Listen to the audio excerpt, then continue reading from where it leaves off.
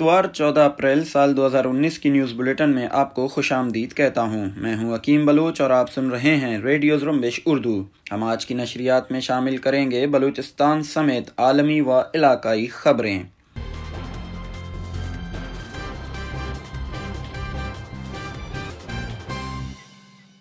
کوئٹہ کے علاقے ازار گنجی میں دھماکے اور اس میں بیس افراد کی ہلاکت کے خلاف ہزارہ برادری کا دھرنا تیسرے روز میں داخل ہو گیا۔ بلوچستان اور کوئٹہ میں شدید بارشوں کے باوجود ہزارہ برادری کے افراد دھرنا ختم کرنے پر راضی نہیں۔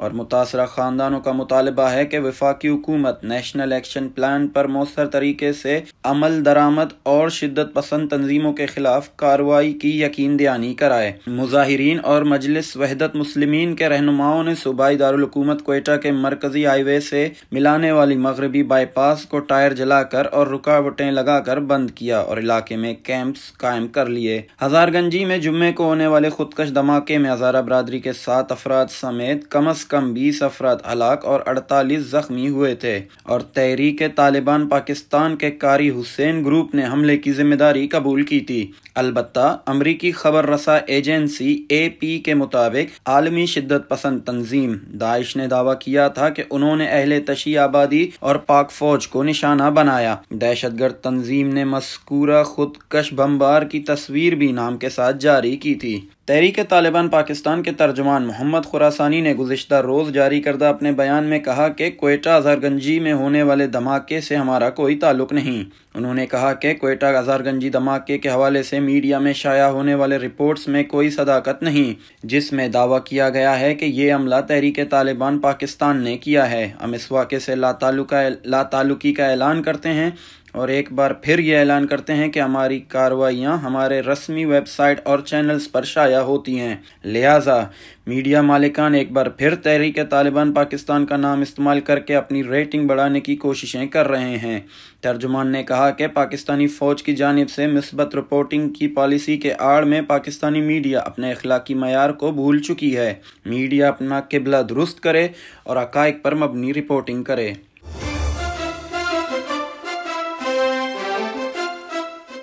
بلوچ قوم پرست رہنما بشیر زیب بلوچ نے اپنے جاری کردہ ایک بیان میں ہزار گنجی عملے کی مذمت کرتے ہوئے کہا کہ گزشتہ روز کوئٹہ ہزار گنجی میں ہزارہ قوم پر ہونے والے عملے کے پیچھے پاکستانی فوج کے مکرو عزائم کار فرما ہیں۔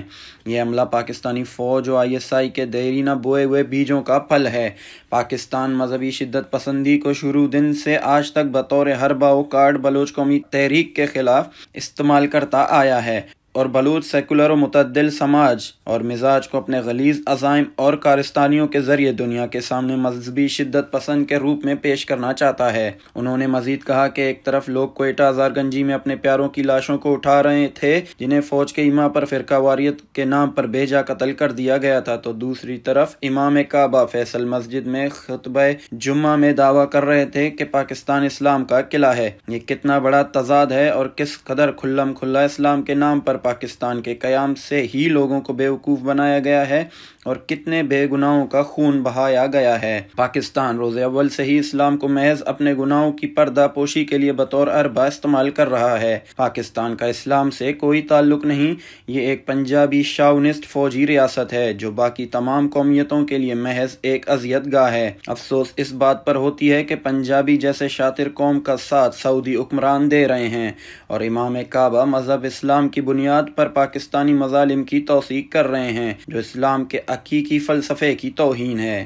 بشیر زیب بلوچ نے مزید کہا کہ یہ سچائی کل بھی واضح تھی اور آج بھی واضح ہے کہ پاکستانی فوج جنگی کاروبار اور بطور خارجہ پالیسی اسلام اور مذہبی شدت پسندی کو بطور کارڈ استعمال کر کے مذہبی شدت پسندی اور انتہا پسندی نہ صرف بڑھاوا دے رہا ہے بلکہ اسلام کو بھی نقصان دے رہا ہے۔ ان عوامل کے پیچھے براہ راست پنجابی مفادات موجود ہیں اور ان مفادات کی تکمیل کے لیے مظلوم بلوچ پشتون اور ہزارہ قوموں کی نسل کشی ہو رہی ہے۔ جب تک پاکستان اور اس کے فوج کا وجود برقرار رہے گا، اس وقت تک نہ صرف بلوچستان بلکہ پوری دنیا میں امن کا خواب کا بھی شرمندہ تعبیر نہیں ہو سکے گی اور پاکستان مذہبی دہشت گردی میں مزید شدت و وسط پیدا کرتا رہے گا۔ انہوں نے مزید کہا کہ بلوچ قوم کی جنگ پوری انسان اور انسانیت کی بقا اور امن عالم کی جنگ ہے۔ اس جنگ کو اور مظلوم و محکوم کو ہمارے ساتھ مل کر لڑنا چاہیے اور یہ مہذب اقوام عالم کا فرض بنتا ہے کہ انسانیت کی سر بلندی و آزادی کی اس جنگ میں بلوچ کی حمایت کریں۔ یہ کمک و حمیت صرف بلوچ کا نہیں بلکہ انسانیت کی مدود و کمک ہوگا۔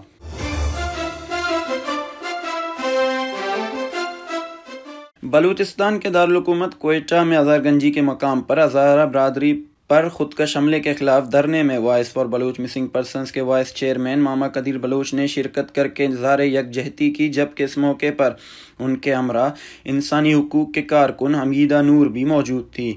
ماما قدیر بلوچ نے کہا کہ سندھی، بلوچ، پشتون اور ہزارہ سب ایک ہی ہے۔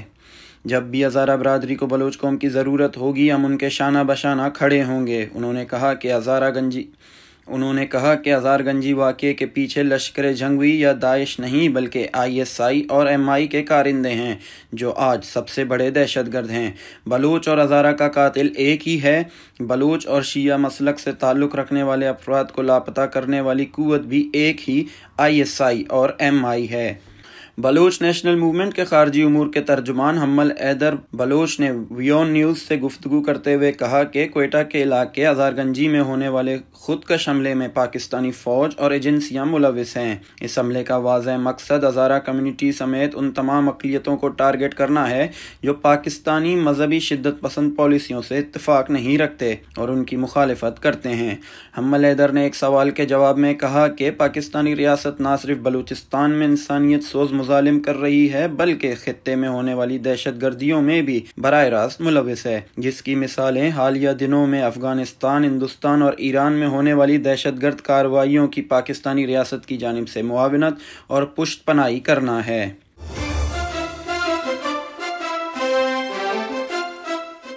بلوچستان نیشنل پارٹی کے سربراہ سردار اختر جان مینگل نے بلوچستان کے دارالحکومت کوئٹہ میں مغربی بائی پاس کے مقام پر ہزارہ برادری کی جانب سے ہزار گنجی واقعے کے خلاف احتجاجی مظاہرے کا دورہ کیا۔ سردار اختر مینگل نے احتجاج پر بیٹھ متاثرہ خاندانوں کے لوائقین سے ملاقات کی۔ اور ہزارہ برادری سے تعزیت و ہمدردی کا اظہار کیا۔ انہوں نے اس موقع پر کہا کہ جس طرح آپ حکومت کے آگے بے بس ہیں، بی این پی بھی آپ ہی کی طرح سخت آلات سے گزر رہی ہے۔ ہم بھی اپنے گمشدہ لوگوں کے لیے آواز بلند کر رہے ہیں۔ ماضی میں ہماری پکار کوئی سن نہیں سکتا تھا۔ آج ہم نے لاپتہ افراد کا مسئلہ ملک کے ایوانوں تک پہنچایا ہے۔ انہوں نے کہا، آئندہ اجلاس میں بھی لاپتہ افراد اور ہزارہ برادری کے ساتھ ظلم و زیادتیوں کے لیے آواز بلند ہوتی رہے گی۔ بلوچستان کی سرزمین پر کسی بھی قوم کا ناحق خون بہے، وہ بلوچستان کا خون ہے۔ بی این پی کسی بھی بلوچستانی کے ناحق خون کو بہنے نہیں دے گی۔ اختر مینگل نے کہا کہ بلوچستان نیشنل پارٹی احتجاج پر بیٹھے ہزارہ برادری کے ساتھ ہیں۔ بلوچستان کی سرزمین ہماری ہے اور ہم ہی اس کے وارث ہیں۔ بلوچ ہیومن رائٹس آرگنائزیشن کے مرکزی ترجمان نے اپنے ایک بیان میں بلوچستان کے دارالحکومت کوئٹہ ہزار گنجی میں ہونے والے دھماکوں میں بیس افراد کی ہلاکت اور تینتالیس افراد کی زخمی ہونے پر غیر دکھ اور تشویش کا اظہار کرتے ہوئے کہا کہ بلوچستان میں گزشتہ کئی سالوں سے مذہبی اقلیتوں کو نشانہ بنایا جا رہا ہے، جس کی مذمت کرتے ہیں۔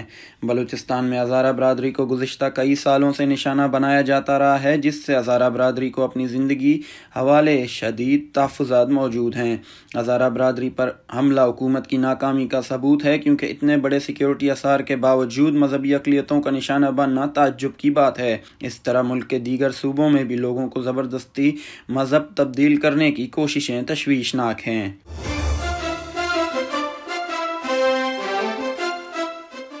بلوچ اسٹوڈنٹ آرگنائزیشن کے مرکزی ترجمان نے بلوچستان یونیورسٹی کو ایک عسکری انسٹیٹیوٹ میں تبدیل کرنے پر تشویش کا اظہار کرتے ہوئے کہا کہ بلوچستان یونیورسٹی اس وقت مکمل طور پر انتظامی اکیڈمک اور تعلیمی طور پر بحران کا شکار ہے۔ تمام تر اختیارات عسکری ادارے اپنے ہاتھوں میں لیے ہوئے ہیں۔ سیکیورٹی کے نام پر طلبہ و طلبات کی تزلیل کی جا رہی ہے۔ یونیورسٹی کو مکمل طور پر ایک بڑی جیل میں تبدیل کیا گیا ہے۔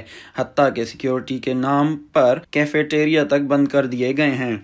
ہاسٹل بھی طلبہ و طلبات کی الائٹمنٹ نہیں ہو رہی ہیں۔ ترجمان نے کہا کہ بلوچستان میں طالب علم ہونا اپنے لیے پرخطر زندگی کا انتخاب کرنے کا مترادف ہے۔ بلوچستان کے طالب علم اپنے آبائی علاقوں سے لے کر تعلیمی اداروں تک جبر کا سامنا کر رہے ہیں۔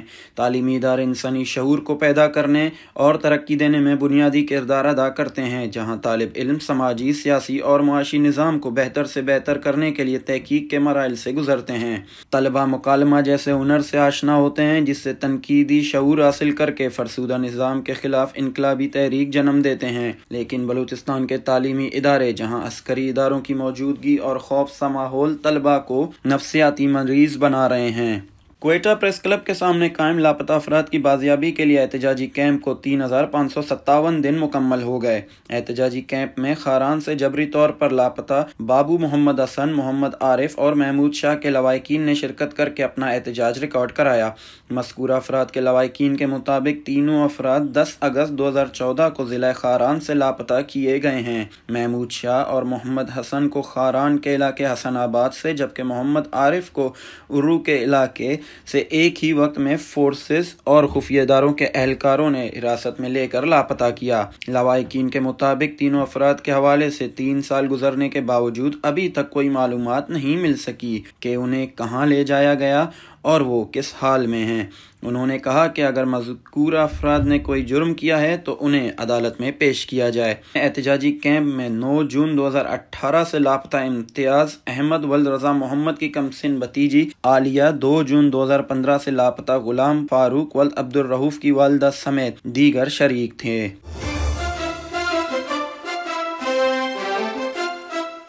کوئٹہ سمیت بلوچستان کے بیشتر علاقوں میں جمعہ کو شروع ہونے والا بارش کا سلسلہ ہفتے کو بھی جاری رہا، جس سے ندی نالوں میں تغیانی آ گئی۔ گزشتہ چوبیس گھنٹوں کے دوران سب سے زیادہ بارش کوئٹہ میں پینتالیس ملی میٹر ریکارڈ کی گئی۔ بارخان اور زیارت میں پچیس پچیس، کلات نو خزدار آٹھ، زوب چار اور سبی میں تین ملی میٹر بارش ریکارڈ کی گئی۔ محکمہ موسمیات کے مطابق کوئٹہ، زوب، سبی، نصیر آباد، مکران اور کلات ڈویژن کے تقریباً تیس اضلاع میں مزید بارشوں کا امکان ہے، جس سے مقامی ندی نالوں میں تغیانی آ سکتی ہے۔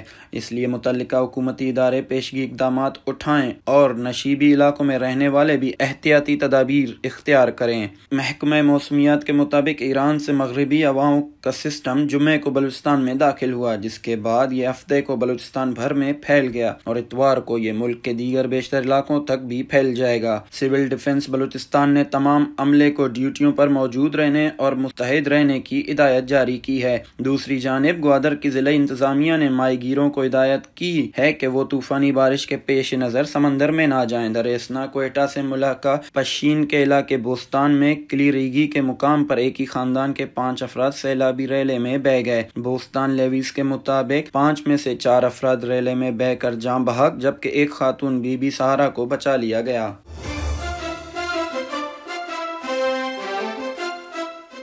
سندھ کے ضلع ٹھٹا میں جنگ شاہی ریلوے اسٹیشن پر ٹرین کو بم سے نشانہ بنانے کی کوشش۔ آمدہ اطلاعات کے مطابق، پولیس نے ریلوے ٹریک سے بم برامد کر لیا۔ جنگ شاہی میں بم ڈسپوزل اسکواڈ نہ ہونے پر حیدرآباد سے بی ڈی ایس کو طلب کیا گیا۔ S S P Shabbir Sattar کے مطابق ٹھٹا پولیس کو ریلوے ٹریک پر بم کی موجودگی کی اطلاعات ملی تھی۔ چیک کرنے پر ایک بم برامد ہوا، جسے ناکارہ بنانے کے لیے فوری طور پر حیدرآباد سے بم ڈسپوزل اسکواڈ کو طلب کر لیا گیا ہے۔ پولیس کے مطابق مطابق کراچی سے اندرون ملک جانے والی اور لاہور راول پنڈی سے کراچی آنے والی ٹرینوں کی آمد و رفت روک دی گئی ہے۔ پاکستان کے قبائلی علاقے شمالی وزیرستان میں ہزاروں افراد نے پشتون لانگ مارچ میں شرکت کی ہے۔ اس مارچ کا اعلان پشتون تحفظ موومنٹ نے کیا تھا۔ وزیرستان سے قومی اسمبلی کے رکن محسن داوڑ نے ٹویٹر پر بتایا ہے کہ لانگ مارچ میں پشتون عسکریت پسندی پروکسی جنگ، تباہی اور ریاستی استحصال کے خلاف متحد ہوئے۔ پشتون لانگ مارچ کے بارے میں سینکڑوں سوشل میڈیا صارفین نے اپنے رائے کا اظہار کیا ہے۔ بعض صارفین نے شمالی وزیرستان کے بڑے جلسے کو ملک کی ذرائع ابلاغ پر کوریج نہ دینے پر ٹی وی چینلز اور اسٹیبلشمنٹ پر تنقید بھی کی۔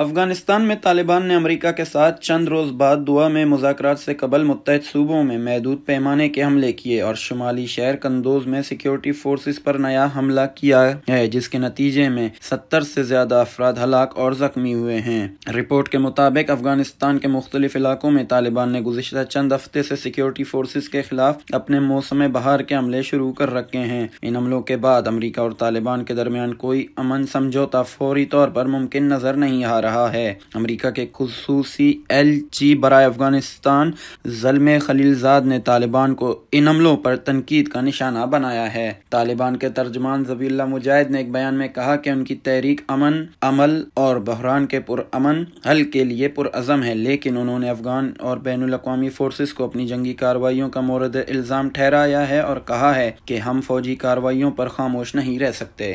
شمالی کوریا کے رہنما کم جونگ ان کا کہنا ہے کہ وہ امریکی صدر ڈونلڈ ٹرمپ کے ساتھ مذاکرات کے تیسرے دور کے لیے تیار ہیں، مگر یہ تب ہی ممکن ہوگا جب امریکہ اپنا رویہ درست کرے۔ شمالی کوریا کے سرکاری میڈیا نے کم جونگ ان کے اس بیان کو نشر کیا ہے۔ اپنے خطاب میں انہوں نے امریکی صدر ڈونلڈ ٹرمپ پر زور دیا کہ وہ ایک ایسے معاہدے کی کوشش کریں جو جائز ہو اور دونوں ممالک کے لیے قابل قبول ہو۔